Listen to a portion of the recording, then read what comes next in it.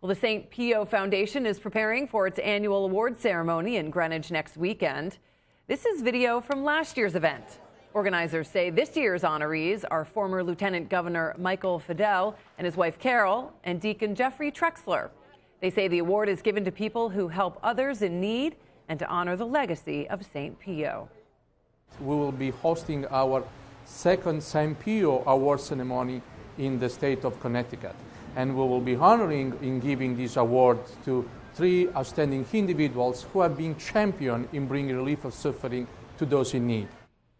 Well, the award ceremony is at the Hyatt Regency in Greenwich on March 25th. For more information, visit our website at news12.com.